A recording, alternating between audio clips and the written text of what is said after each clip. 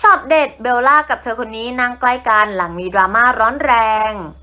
ก่อนหน้านี้มีดราม่าเมื่อชาวพันทิปได้ตั้งกระทู้ถามว่าทำไมแอนทองถึงไม่ชวนเบลล่ามาเล่นละคร งานนี้บอกเลยค่ะว่าทำโซเชียลเดือดปุดๆซึ่งเบลล่าเองก็ได้ตอบดราม่านี้แล้ว เป็นเพราะคิวและปัจจัยหลาย ๆ อย่างของเธอ ที่ไม่ว่างจะเล่นละครให้กับพี่แอน ซึ่งแอนเคยชวนมาร่วมงานกันแล้ว ล่าสุดเป็นที่ยืนยันแล้วว่าทั้งสองสาวไม่ได้มีปัญหากัน เมื่อเบลล่าและแอนทองได้นั่งชมแฟชั่นโชว์ติดกันที่งาน World Fashion District Iconic Summer